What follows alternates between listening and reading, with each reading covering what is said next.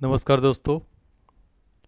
इस वीडियो में मैं आपके साथ safety measures associated with filling of road tankers इसके बारे में बात करने वाला हूँ। ये जो क्वेश्चन है, वो एग्जामिनेशन में आपको five marks to ten marks का वेटेज में पूछा जाता है। सब्जेक्ट है safety engineering two post diploma industrial safety subject code one zero four question में आपको safety measures associated with filling of road tankers इस ऐसा क्वेश्चन रहता है।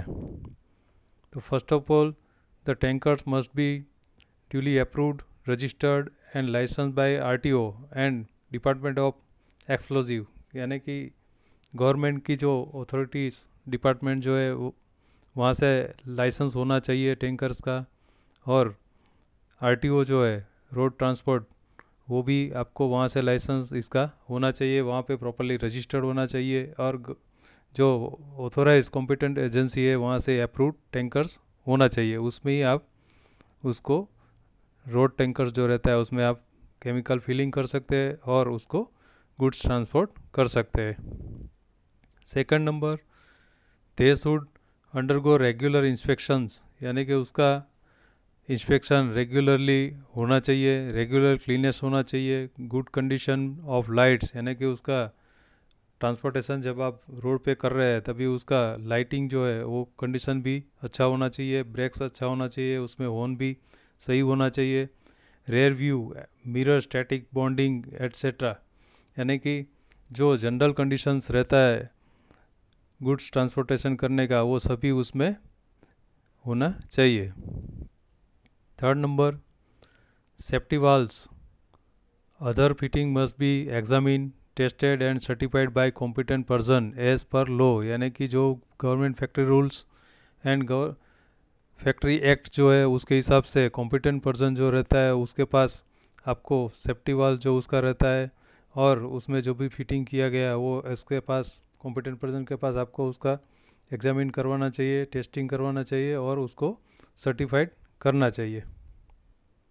Four number, smoke, smoking by drivers and helpers, strictly prohibited. यानी कि जब भी वो टैंकर के अंदर फिलिंग हो रहा हो या उसका गुड्स ट्रांसपोर्टेशन हो रहा है या लोडिंग, अनलोडिंग हो रहा है तो वो एरिया में और ट्रांसपोर्टेशन के टाइम पे जो ड्राइवर्स रहता है, उसको स्मोकिंग करने का स्ट्रिक्टली प्रोहिबिटेड है। यानी कि वो वहाँ पे नहीं कर सकता है।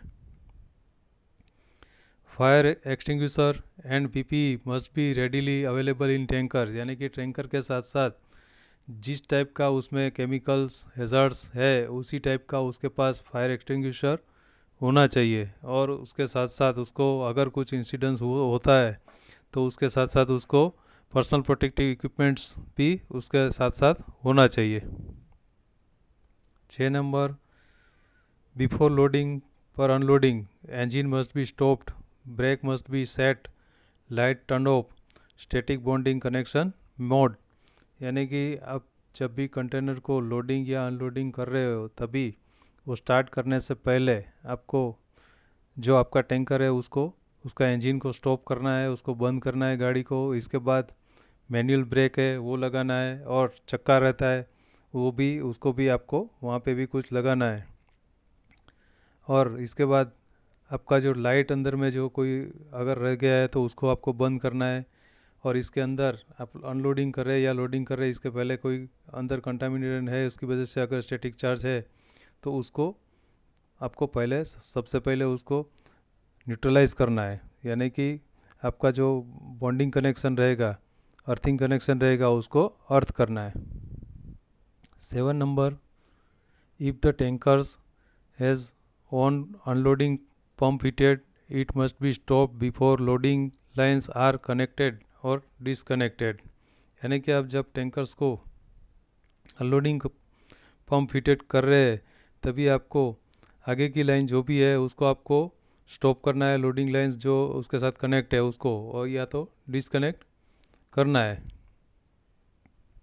Eight number the driver must be present while loading unloading done यानी कि जब भी आप लोडिंग, अनलोडिंग कर रहे हैं, तभी वहाँ पे टैंकर का ड्राइवर जो है, उसके लिए कुछ रेस्ट के लिए अरेंजमेंट करना चाहिए और जो अपना जोन एरिया जो आता है, उसके हिसाब से उसको उसी दूरी पे बैठने के लिए या वहाँ पे रेस्ट करने के लिए कुछ अरेंजमेंट करके वहाँ उसको बिठाना चाहिए।